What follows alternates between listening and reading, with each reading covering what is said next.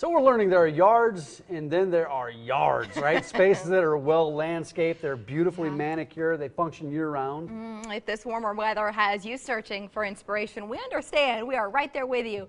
That's why we're glad to welcome this gentleman This to the guy show. right here, Matt Keiser, guys. owns KM Landscaping. Yes. Good to see you. Love your work. Oh, thank Great you. to have you here. Yeah, we talked some good stuff. Uh, it was last week or two weeks ago. Yeah, I think last really week. cool projects. Uh, but let's back up a little bit. Remind people exactly what you do. What type of landscaping?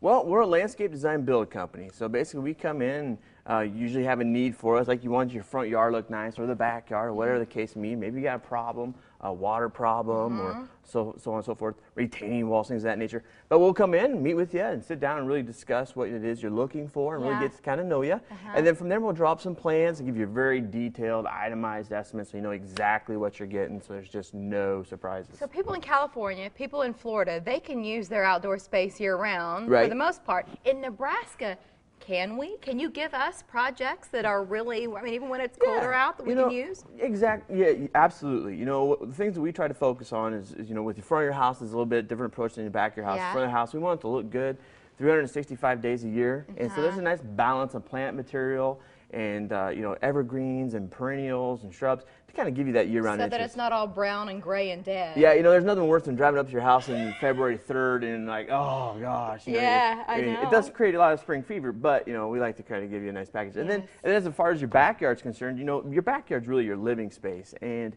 you know, we really want that to look good year round. And Mm-hmm. we kind of take the same approach with the plant material, uh, but also just in general, just the environment. You know, you're looking out your back windows in the winter, and you want to be able to see something that you know kind of incites or invites you to be outside. So Yes. we really focus all, all of that. It's just kind of the whole pit, big picture as far as the environment's concerned. Mm-hmm. You know, really in my yard, I have a problem with water. Kind of settles in different places. Mm. Yeah. And you know, good landscapers, and, and you utilize water to help make a difference in the landscape. And even landscape water plan. features. Water Yep. features. Yep, yep, exactly. Yeah, uh, water's a huge issue for us. I mean, 'cause it's the number one destructive force on the earth, and but it's also about the most important thing on the earth. Yeah. so it's got goods and bads. Yeah, but you know what's what's uh, what's interesting is is that yeah we can do some great things with water features and really create some great sounds and interest, uh, and then uh, also water problems. I mean, we deal a lot with trying to you know get people's backyards to drain better, or you know, hey, you know, we got this large amount of water that flows down in heavy rains. I mean, just a lot of different things that we have to focus on and try to find solutions for. I'd love to look at some pictures because I feel like you're. this is the best part, right? The- Yeah, Some of the pictures work are you guys fun. do. So this is kind of where it where it all starts, right? Yeah. So the homeowner, it's not just in their imagination, but Yeah. you're giving them something physical to look at. Exactly. We meet with them, we sat down, kind of come up with just some uh, some ideas with some plans. Uh, we'll sit down and draw them all up. We give you a nice presentation, bring them back nice and colored to you. So again, you have a real good visual of what you're Uh-huh. Yeah, looking and for. then something like this, to me, this is a dream because when, you know, Memorial Day is coming up, you want to have friends and family over and you Oh, want to yeah. be able to enjoy that space. Yeah, I mean, it's just uh, uh, you know, what's funny is those backyard spaces are just becoming such an important part of your your living experience. You Mm-hmm. know, the the 12 by 12 pad just doesn't cut it anymore. No, I it's mean- really an extension of your house. It it's like a whole third room. And Yeah. the water features here. Yeah, that's over at Connie's house. You know, she loves that pond. She gets all kinds of birds over there. and- Uh-huh. Well, and that's part of the, the sensory experience too, that when you're just sitting out relaxing, Yeah. maybe with a glass of wine, as we Yep. were just doing, Yep, you yeah. hear the water too. The water is fantastic, Now- you know, and like here in this one, this one, what's real important here is the shade that those trees give. You know, shade's Yeah. also really big. And it's the landscaping around those trees that you've Yep. been able to enhance. Yep, yep. Mm-hmm. Landscaping around. I mean, everything just kind of works together. So you got to have all the parts and pieces together. What did these homeowners want? Eh, There's a, are those pergolas up top? Uh, well, they're, we kind got. of, they're kind of like not they're really a pergola, what are more of a wood feature It's kind kind, of a of design- uh, yeah. awning. Let him explain not it. He made it. Yeah, well, you he, built he's it. trying to figure out what they are. Uh, Jamie and Marshall did this one. This one's from about 2007, I believe, six maybe. Uh, this was a great big elevated patio. It's about Yeah. nine foot off the ground, Mm-hmm. and uh, really a fun project. Um, uh, lots and lots of sand at that project. Uh-huh. That's what you remember from this that. huh? to me, this is what you see in some of the nicest neighborhoods in the city. Mm-hmm.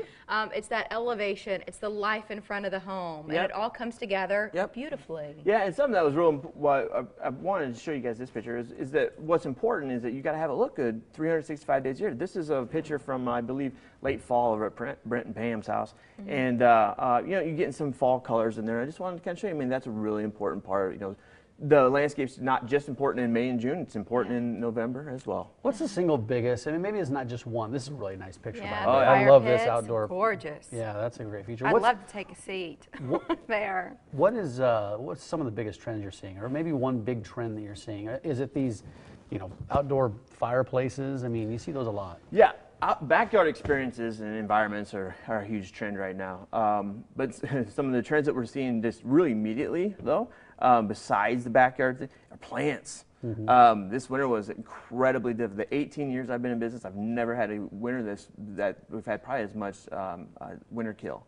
And so there's a lot of need out there for new Yeah. plants. I've noticed a lot of my stuff's not coming back this Yeah, year. and so that's a big trend right now. And then also, like I said, the backyard environment's really big because it just really gives you something that you can, you know, enjoy. Yeah. Mm-hmm. You know, it's kind of functional landscaping. You know, it's not just something to look at. It's actually you can get into it and enjoy it. You know what I like about you? Well, a couple things.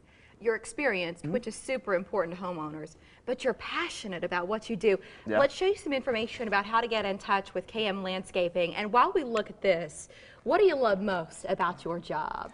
Well, about my job, you know, I love the people. Uh, it's an awesome experience every day that I probably deal with seven, eight, ten different types of people, Mm-hmm. whether it's on the business side or whether it's on the, uh, the uh, customer side. Yeah. And so I just get so many interactions. I love that. And I love really just, you know, making people happy and, and, and creating something that they, they'll be proud of Mm-hmm. and that, you know, a year from now they'll like, 10 years from now they'll like, you know, and that they, they tell their friends. You know, the majority of our business comes from referrals and we just really appreciate every opportunity we get to do that. for I love it. KMlandscaping.com. And I got to ask you about, you know, I get some new plants in. The rabbits just go after these things. You can This is on the commercial break. I'll talk to you after that. Really in a great second. to have Thanks. you here. BB guns, that's See all I you can soon. We do not endorse that. No, they are good. Do that. We're excited. uh, comedian Mike Birbiglia will be in studio next week. I don't know, you could be a comedian too, man. Uh, win tickets to see Mike perform. Register for your chance to win. Head to OmahaMorningBlend.com and click on contests and giveaways. We'll pick today's winner at random at 2 p.m. I was worried about the word turd drawing some phone calls. All right, still to come, the movie featuring Two Faces familiar to Omahans and why our city was selected for the world premiere. And on the other side of the break, why Mother Monster tweeted something we couldn't resist sharing with you.